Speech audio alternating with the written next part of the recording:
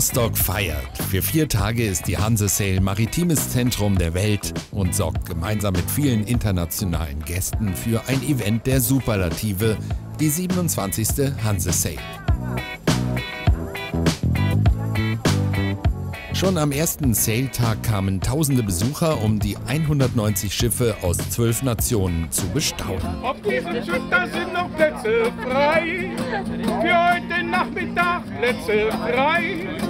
Die Kurzentschlossenen können jetzt hier kommen und rufen. Die Gelegenheit, einmal mitzusegeln. Viele ließen sich das schon vor der offiziellen Eröffnung nicht entgehen. Hiermit erkläre ich die 27. Hanse-Sale 2017 für eröffnet. Am Donnerstagabend dann verfolgten Hunderte wie Ministerpräsidentin Manuela Schwesig und Rostocks Oberbürgermeister Roland Medling den offiziellen Startschuss gaben. Doch die positive Stimmung auf dem größten maritimen Volksfest in Mecklenburg-Vorpommern war in diesem Jahr ein wenig getrübt, zumindest bei den deutschen Sail-Teilnehmern. Viele Eigner und Betreiber von Traditionsschiffen sind beunruhigt, denn die geplanten Neuregelungen des Bundes zur Erhöhung der Sicherheitsstandards könnten für einige von ihnen das ausbedeuten. Mit einem symbolischen Rettungsring bat der Vorsitzende des Deutschen Dachverbandes für Traditionsschiffe, Jan Matthias Westermann, die Ministerpräsidentin um Unterstützung.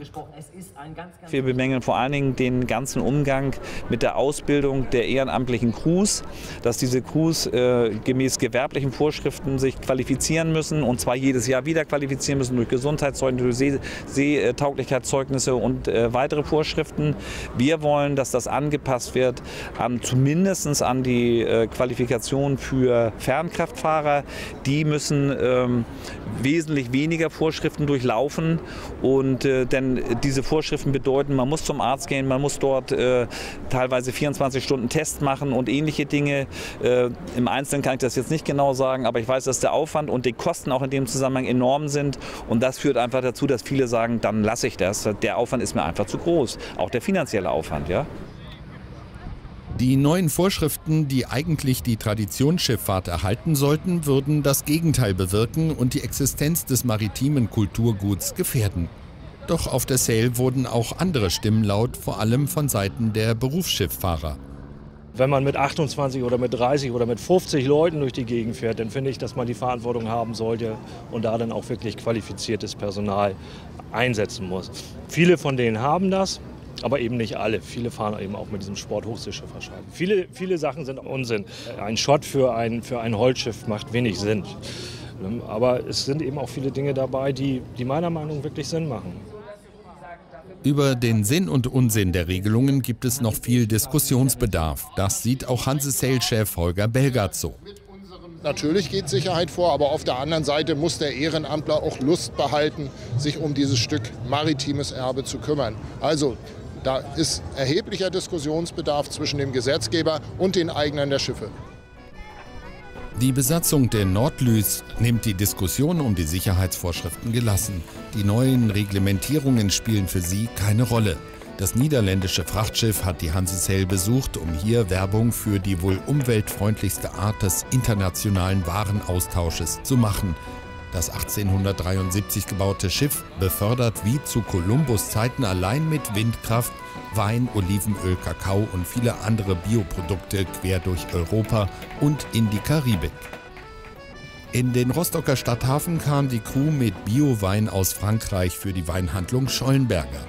Dass sich der leidenschaftliche Einsatz für diese Art der Frachtbeförderung lohnt, davon ist der Kapitän überzeugt. Es rendiert sich immer, weil es ist gut für die Welt. Wir sind angefangen mit vielen Freiwilligen. Äh, mittlerweile äh, kann die ganze Besatzung, die Stammbesatzung wird bezahlt sogar und das, das läuft echt gut.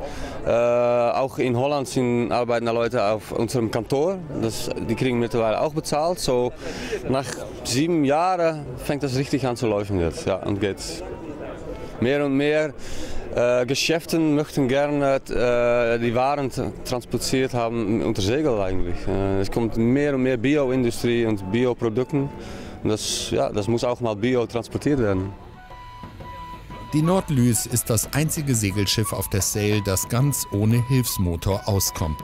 Zwei Wochen lang war es diesmal von Le Havre aus unterwegs. Doch es kann durchaus auch einmal länger dauern. Wenn kein Wind ist, dann geht da nichts. Und dann äh, kriegt man auch zur Antwort, wir wissen nicht genau, wann wir in den Hafen kommen und wann beladen werden kann. Wenn wir da sind und der Wind ist günstig, dann sind wir da. Da gibt es halt ein Zeitfenster und das wird dann halt ausgedehnt. Und ähm, das ist manchmal ein bisschen, wie gesagt, so nervend, aber auf der anderen Seite total entschleunigend und dann auch irgendwie auch schön, weil man dann halt auch merkt, es ging ja früher auch so.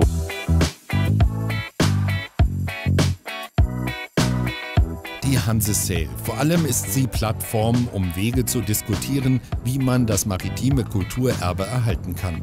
Dass das unbedingt bewahrt werden sollte, zeigen die jährlich rund eine Million Besucher und Mitsegler.